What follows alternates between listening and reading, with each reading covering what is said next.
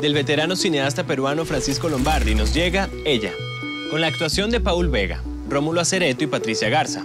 En palabras de su director, es una película pequeña, intimista y minimalista. Un pintor reconocido se halla en un momento de profunda crisis creativa. Su joven mujer, fuente de inspiración durante los últimos años, desaparece bruscamente de su vida. Después de su muerte, Alfredo descubre un oscuro secreto en el pasado de ella, una relación oculta con un hombre joven. Para que la película no terminara siendo tan encerrada en sí misma, este, juega un poco con la idea de un cierto thriller, ¿no? Ahí la búsqueda, porque aparece un personaje que supuestamente está vinculado con esta mujer, con su esposa del, protagonista, y él empieza a buscar a esa persona. En realidad el punto de partida de esta película, de la historia en general, tiene que ver con eso, ¿no? Con el encuentro de la otra persona.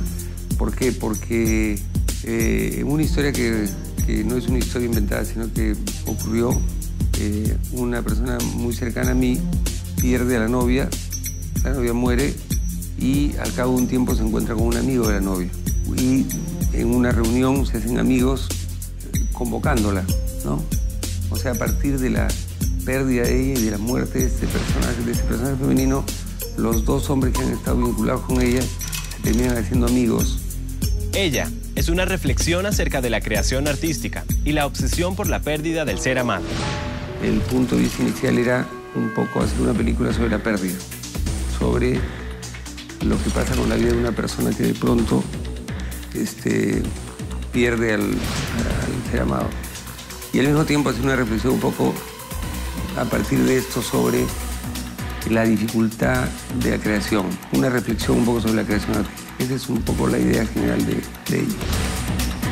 Hay un momento en que, el, artista está bloqueado, se le acaba un poco la inspiración, que es en el caso un poco metafórico de la película, la chica de la cual es enamorado, con la cual vive hace unos años. Y eh, la pérdida de ella produce pues un bloqueo ¿no? total, se queda sin musa y se queda sin inspiración y a partir de eh, superar el tema de la pérdida es que nuevamente voy a tener libertad para, para crear.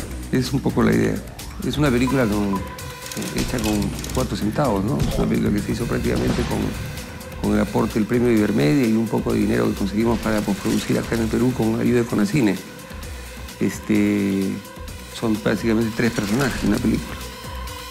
Es un desafío mantener el interés durante una hora y media con tres personajes, de los cuales en realidad dos son los protagónicos, porque el personaje, el personaje femenino aparece pues muy de rato en rato y no precisamente con mucho diálogo.